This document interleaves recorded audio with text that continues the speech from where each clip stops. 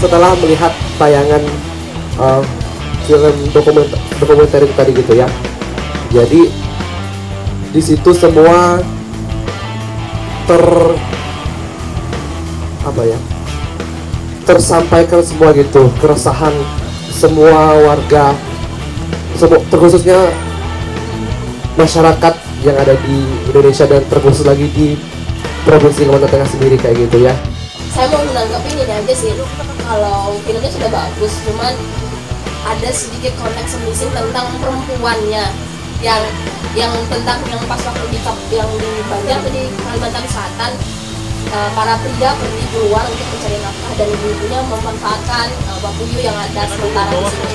Ini kan bapuyu nah itu menurut saya belum men akan lebih menarik lagi jika itu dimasukin apa maksudnya ditambahin lagi uh, perempuannya nih kenapa apa keterlibatan perempuan tuh misalnya apa aja sih kekurangannya kenapa laki-laki keluar kayak gitu. Kapan saya secara pribadi kita semua yang ada di sini yang datang dari berbagai macam uh, latar belakang bisa aktif untuk men-sharekannya kayak gitu. Karena film ini tidak akan ada gunanya kalau kita tidak aktif membagikan tentang makna yang ada dari film ini. Kalau kita cuma simpan film ini untuk diri kita sendiri so what kayak gitu jadi kita harus share share share dan share sebelumnya saya di sini nggak terlalu banyak berkomentar sih tentang film ini. This is the cool movie ever I see this gitu.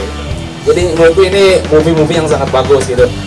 Aku nggak bisa bercerita banyak tentang movie ini, cuman pesannya sudah tersampaikan semua pada kita semua yang menonton di hal ini.